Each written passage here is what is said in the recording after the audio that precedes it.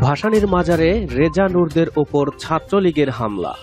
মজলুম জননেতা মৌলানা আব্দুল হামিদ খান ভাসানীর মাজারে শ্রদ্ধা জানাতে গিয়ে ছাত্রলীগের হামলার শিকার হয়েছেন রেজা কিবরিয়া ও নুরুল হক নূরের দলের নেতৃত্বাধীন গণ অধিকার পরিষদের নেতাকর্মীরা। বুধবার দুপুর বারোটার দিকে এ হামলার ঘটনায় রেজা কিবরিয়া ও নূর আহত হয়েছেন বলে অভিযোগ করেছেন গণ অধিকার পরিষদের যুগ্ম আহ্বায়ক আরিফুর রহমান তুহিন। তিনি বলেন, ঘটনাস্থলে পর্যাপ্ত পুলিশ মোতায়েন থাকলেও তারা নীরব ভূমিকা পালন করে হামলায় অন্তত চল্লিশ জন আহত হয়েছেন বলে প্রাথমিকভাবে জানা গেছে। তুহিন বলেন রেজা কিবরিয়াকে ঢাকায় নিয়ে আসা হয়েছে।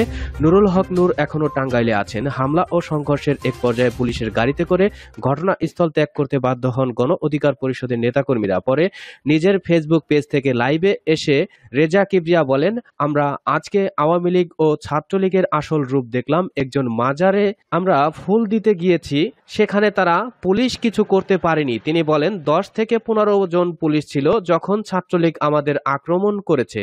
তারা সরে গেছে, হয়তো তারা ভয়ে সরে গেছে, তা না হয় তাদের কোনো ইনস্ট্রাকশন আছে। তবে মাওলানা ভাসানী বিজ্ঞান ও প্রযুক্তি বিশ্ববিদ্যালয় ছাত্রলীগের সাংগঠনিক সম্পাদক মানিক শীল দাবি করেছেন, নূরের লোকজনই প্রথমে তাদের ওপর হামলা করেছেন। এর আগে মজলুম জননেতা মাওলানা আব্দুল হামিদ খান ভাসানীর পঁয়তাল্লিশতম মৃত্যু বার্ষিকী উপলক্ষে সকাল থেকেই টাঙ্গাইলে তার মাজারে শ্রদ্ধা জানাতে যায় বিভিন্ন রাজনৈতিক, সামাজিক ও সাংগঠনিক সংগঠন।